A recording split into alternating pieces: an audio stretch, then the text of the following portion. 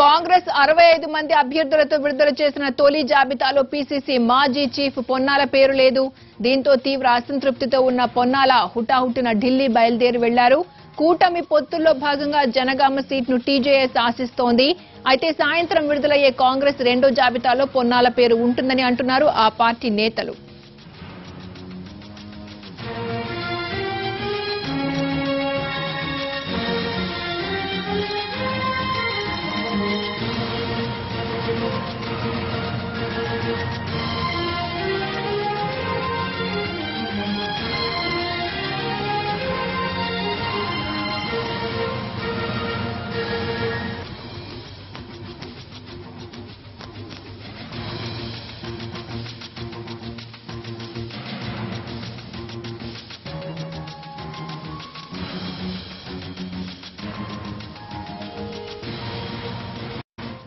పొన్నాల అసంతృప్తి రెండో జాబితాపై పూర్తి సమాచారాన్ని మా ప్రతినిధి ప్రసాద్ అందిస్తారు. ప్రసాద్ చెప్పండి ఆయనకు పట్టున్న జనగామ నియోజకవర్గాన్ని కాదని పొన్నాలకు ఎక్కడ సీటు కేటాయించే అవకాశం కనిపిస్తోంది డీటెయిల్స్ ఏంటి?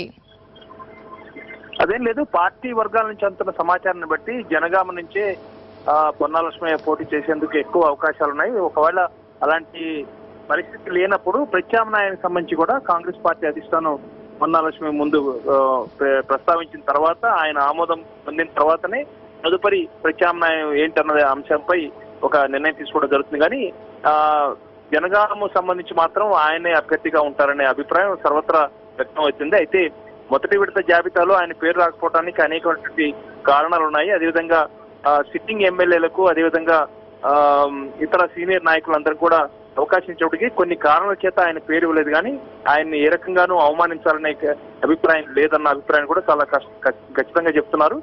రెండో విడత జాబితాలో ఈ రోజు ఉండే అవకాశం ఉన్నట్టుగా తెలుస్తుంది. అయితే తొలి తొలి విడత జాబితాలో తన పేరు లేకపోవడంతో హుటాహుటిన ఢిల్లీకి వచ్చి ఏం జరుగుతున్న అంశాన్ని తెలుసుకోవడం జరిగింది. ఆయన ఆశ్చర్యానికి గురయ్యారు. అదేవిధంగా ఇది ఇతర పార్టీ ప్రత్యే ప్రత్యర్థులకు ఎలాంటి రాజకీయ ప్రయోజనం కలగకూడదన్న ఉద్దేశంతోనే ఆయన ఇప్పటికి కూడా ఉన్నారు. ఖచ్చితంగా తనకు న్యాయం జరుగుతుందనే ఆశాభావంతోనే ఉన్నారు. రెండో విడత మూడో విడత జాబితా కూడా సిద్ధమైంది. వాస్తవానికి రాహుల్ గాంధీతో సమావేశమైనటువంటి సందర్భంలోనే అన్ని అభ్యర్థులు అన్ని స్థానాలు కూడా అభ్యర్థులు ఖరారయ్యాయి. తొంభై నాలుగు స్థానాల్లో అభ్యర్థులు దాదాపు అన్ని కూడా ఖరారు చేశారు. ఒకటి రెండు స్థానాలకు మినహాయించి. అయితే రెండో విడత జాబితా పదిహేను మంది అభ్యర్థులతో కూడిన జాబితా ఈ రోజు రాత్రి కానీ లేకపోతే రేపు ఉదయం కానీ విడుదలయ్యే అవకాశం ఉంది. ఆ తర్వాత మూడవ జాబితా రేపు సాయంత్రం విడుదలయ్యేందుకు అన్ని రకాలుగా సన్నాహాలు చేసుకున్నట్టుగా తెలుస్తుంది. కాంగ్రెస్ పార్టీ మాత్రం అన్ని స్థానాలకు తొంభై నాలుగు స్థానాలకు భాగస్వామ్య పక్షాలకు ఇచ్చే సీట్లతో సహా అన్ని అంశాలపై ఒక పూర్తి అవగాహనతో ఉన్నట్టుగా పార్టీ వర్గాల నుంచి అందుతున్న సమాచారం ఇప్పుడు తెలుస్తుంది. ఇకపోతే సిపిఐ మూడు అసెంబ్లీ స్థానాలే కాకుండా రెండు ఎమ్మెల్సీ స్థానాలు కూడా అంగీకరించినట్టుగా తెలుస్తుంది. ఆ మేరకు రెండు ఎమ్మెల్సీ స్థానాలు కూడా సిపిఐకి ఇచ్చేందుకు కాంగ్రెస్ పార్టీ అంగీకరించినట్టుగా తెలుస్తుంది. ఈ రకంగా అన్ని పార్టీలకు కూడా సముచిత రీతిలో అందరి ఆమోదం మేరకు ఒక నిర్ణయానికి వచ్చారు. ఇక నామినేషన్ల పర్వం కూడా ప్రారంభమైంది కాబట్టి త్వరలోనే ఈ రెండు విడత మూడో విడత జాబితాను కూడా విడుదల చేసేందుకు కాంగ్రెస్ పార్టీ అన్ని రకాలుగా సన్నాహాలు చేసుకుంటుందిగా తెలుస్తుంది. ఓకే ప్రసాద్.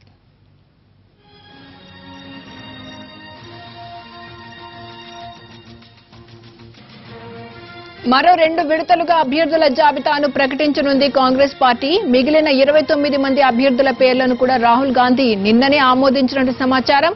రెండో విడత జాబితాలో పదిహేను మంది మూడో విడత జాబితాలో పద్నాలుగు మంది పేర్లు ఉండే అవకాశం ఉంది. ఈ రెండు జాబితాల్లో బీసీలకు ప్రాధాన్యత ఇస్తున్నట్లు తెలుస్తోంది. ఈ రెండు జాబితాలను సాయంత్రం లోపు రిలీజ్ చేసే అవకాశం ఉంది.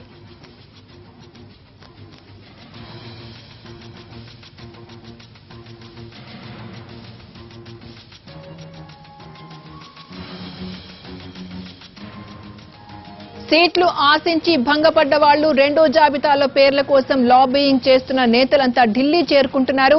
జనగామ సీటు విషయంలో కాంగ్రెస్ హైకమాండ్ క్లారిటీ ఇవ్వకపోవడంతో మాజీ పీసీసీ చీఫ్ పొన్నాల లక్ష్మయ్య ఇప్పటికే ఢిల్లీ బాట పట్టారు. పార్టీలో జరుగుతున్న పరిణామాలు ప్రత్యర్థులకు మేలు చేసేలా ఉన్నాయని పొన్నాల ఇప్పటికీ అసంతృప్తి వెళ్ళగక్కారు. నాగార్జున సాగర్ సీటు నుంచి పోటీ చేస్తున్న జానారెడ్డి కొడుకు రఘువీర్ రెడ్డి సీటు కోసం ఢిల్లీలో లాబీయింగ్ చేస్తున్నారు. మరోవైపు అద్దంకి దయాకర్ బాలునాయక్ పాల్వాయి స్రవంతి కూడా హస్తనలోనే ఉన్నారు.